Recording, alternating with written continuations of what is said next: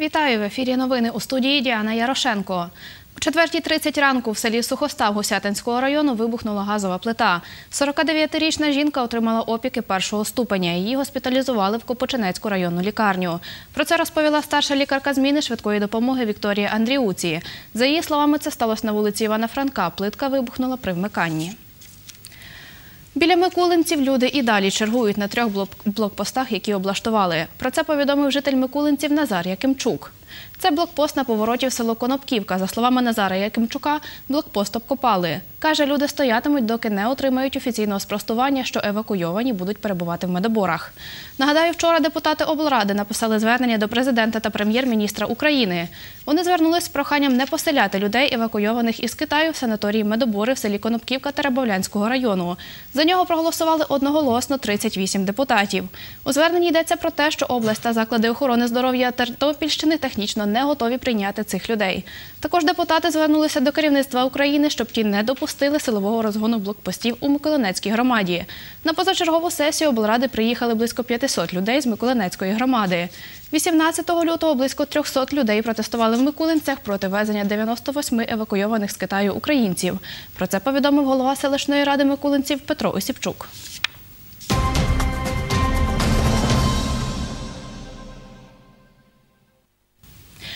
Сьогодні шоста річниця з дня загибелі наймолодшого героя Небесної Сотні Назарія Войтовича. Він загинув на Майдані 20 лютого 2014 року. Хлопцеві було 17 років. В його рідному селі Травневе з Бариського району іменем Назарія Войтовича назвали школу. В пам'ять про нього створили мистецьку резиденцію та музей.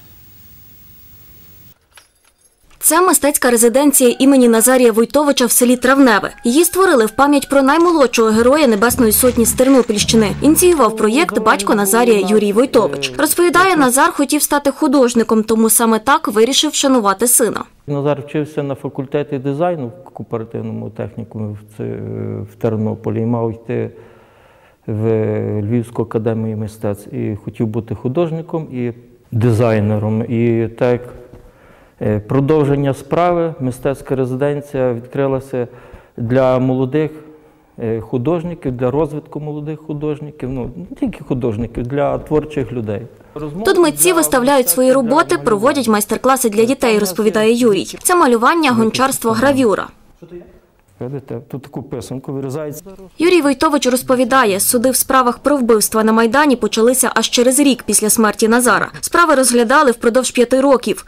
У те, що вбивця сина буде покараний, каже, не вірить. Діло в тому, що зараз повідпускали і зараз два беркутівці вернулися для продовження своєї справи, управдовувати Беркут, що вони там досить чесні, правильні і все робили по закону. Я ще говорив 6 років назад, теж питалися, я казав 10%, що їх покарають.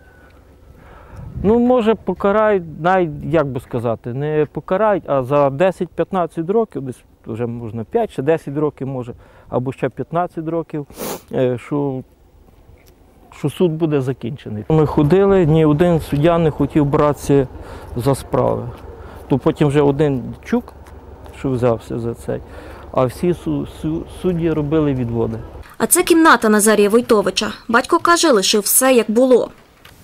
Тут його картини.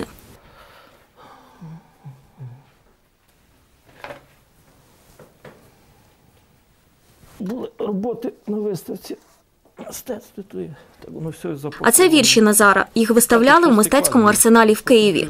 Зима, сніг навколо падав, а я йшов, все бачив і не знав, що все мене усе розтане, і прийде весна, і зацвітуть сади, луга, міста. А так то хочеться, хочеться прожити своє життя поцікавіше. Ну так, щось воно близько до тої зими, що воно було. Такі вірші, каже, Назар писав у 5-6 класі. Юрій Войтович показує дитячі фото сина. Мама, то я, а то Назарко. Дуже такий допитливий, бо він же такий, як трохи більше, але він то все. Як його то все інтересувало.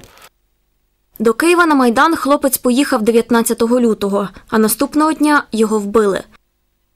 Це останнє фото Назара Войтовича.